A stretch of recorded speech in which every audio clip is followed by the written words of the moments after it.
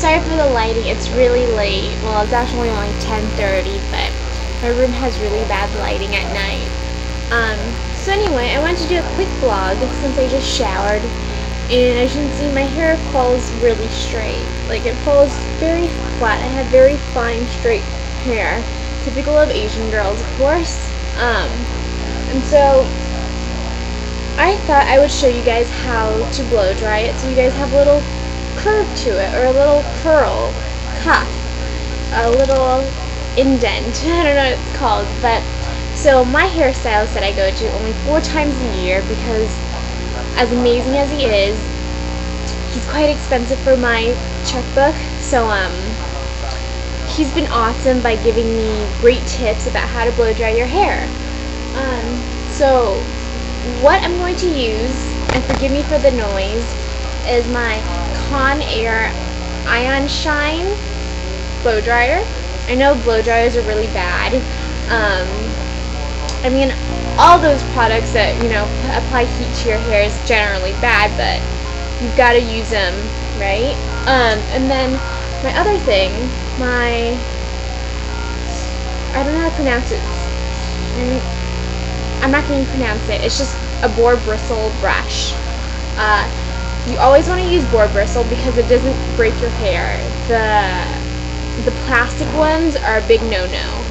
So, I'm just going to do a little part for you guys to check out. So what you want to do is, oh, always make sure that your hair is a little dry. Never blow dry it, never do anything to it in terms of uh, applying heat to your hair if it's completely wet because it will break. Uh, wet hair is, you know, it's the most fragile.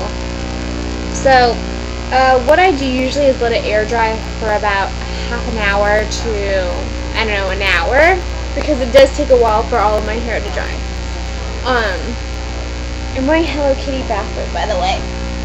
You can't see Hello Kitty because she's all the way down there, but another time. So anyway, so my hair is a little, it's still a little wet, but it's good enough, like it's dry enough, and it's still wet enough that I can still blow dry. So, me show you guys this side since I'm holding my blow dryer So what I'm going to do first is I'm going to just part a little section of my hair. Now I don't have a lot of hair, so it might not look a lot to you guys, and it's okay because you guys will know when, you know, you have too much hair in one section. It's just not going to fold blow drying it won't do anything to it. So I have my chunk and I've rolled it up just a little bit. And so bear with me. I'm going to put it on low, but if you guys can't hear me, I'm totally sorry. Um, but I'll tell you ahead of time. What I'm going to do is I'm going to put this on a, put this probably a medium, and I'm going to blow dry it. And what I'm going to do is probably count to 30 seconds. I mean, I won't do it for that much, since I don't want to kill your time, waste it. Uh, what you want to do is just kind of blow dry for 30 seconds and kind of comb it out, which you which you'll see. Um, and then the trick after is that once it's hot, you just want to keep it. You want to roll it back up, and then you keep it in that position until it cools down, and this is no longer hot. So here it goes.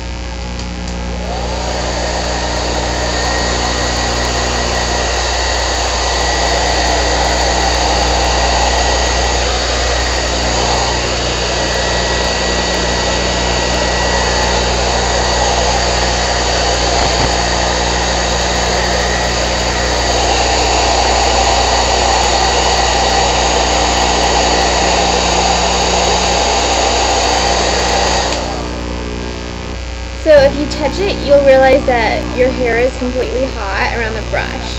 And this is the worst time. I think the mistake here that I used to make before my hairstylist told me was that, you know, once you think you're done blow drying, you can just kind of uncurl it, but that's not the point.